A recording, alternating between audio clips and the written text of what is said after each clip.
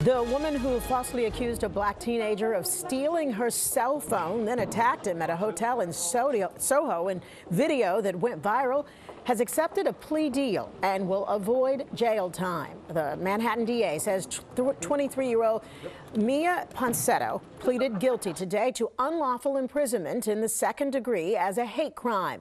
She'll be required for two years to abide by the terms of probation in her home state of California, uh, stemming from a separate case undergo counseling and avoid further legal trouble. And if she does that, she can accept a less serious charge and avoid prison.